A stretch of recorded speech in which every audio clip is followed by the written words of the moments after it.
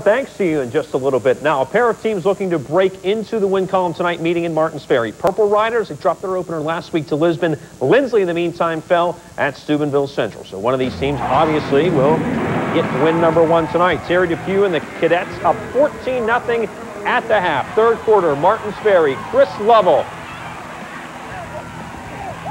in for the score, and that cuts the lead in half, 14 to 7. Later in the third, Riders driving in Linsly territory. Lovell, though, fumbles, and Linsly jumps on it and recovers. So the Cadets stop that Martins Ferry drive. Two plays later, Jason Piles gets an unbelievable block along that left side. And we know how dangerous he can be. 64 yards and a touchdown. So after the turnover, it's back up to a 14-point Linsly advantage. Fourth quarter now, Riders, fourth and 11. Jamal Murray putting it up. Billy Antill with the catch and the touchdown. 23 yards, 21-14, back to a seven-point deficit. Riders driving again in Linsly territory, but Ryan Zan fumbles, and there's Piles with the recovery.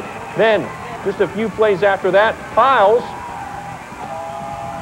is going to be intercepted by Mike Bartle, so we're playing turnover back and forth.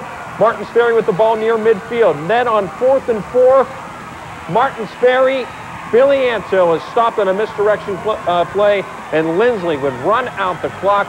Linsly gets its first win of the season as we take a look at the final.